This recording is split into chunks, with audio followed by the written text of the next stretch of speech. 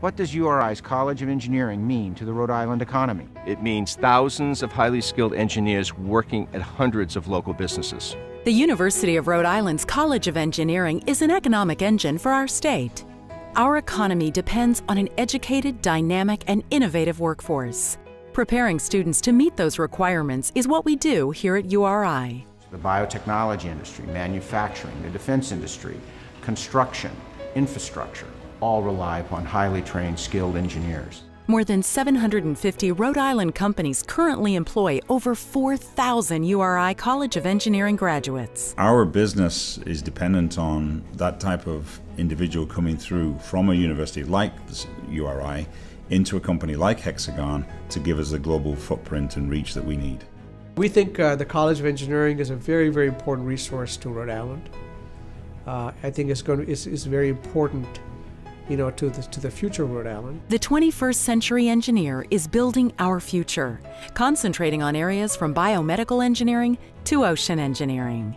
My goal was to graduate from URI's College of Engineering and find a great job here in Rhode Island. Navatek chose to move to Rhode Island to have access to the talented engineers at URI. Here at Navatek, I help write software to assist the Navy in designing ships so that they're more efficient Bill Murray graduated from URI's College of Engineering in 1978 and today heads Teknor Apex, a global company headquartered here in Rhode Island. The engineering facilities here at URI really haven't changed much since I attended classes here in the 70s.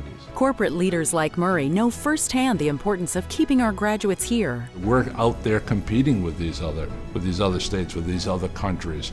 Uh, if we're not keeping our best and our brightest here in Rhode Island, we have no hope for success in the future. But with engineering facilities more than 50 years old, that's becoming more of a challenge.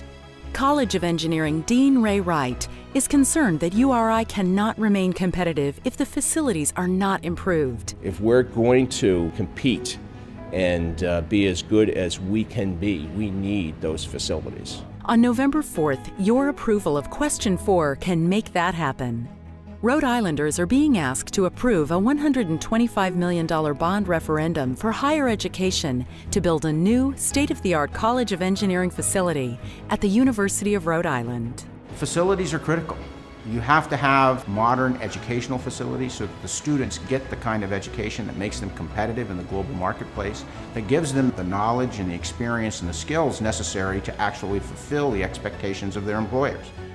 Investing in URI's College of Engineering will allow us to retain and attract first-class faculty and students. The new facilities that we will build will serve the people of Rhode Island, the taxpayers of Rhode Island, the students of the University of Rhode Island, the faculty of the University of Rhode Island for the next 40 to 50 years. We're at a crossroads right now. This is the moment for us. Support good jobs in Rhode Island by voting yes on question four to build new facilities for URI's engineering program. Together, we can build a new state of the art engineering facility so that others may have the same opportunity that I had. Vote yes on question four. Vote yes on question four. Engineering Rhode Island's future.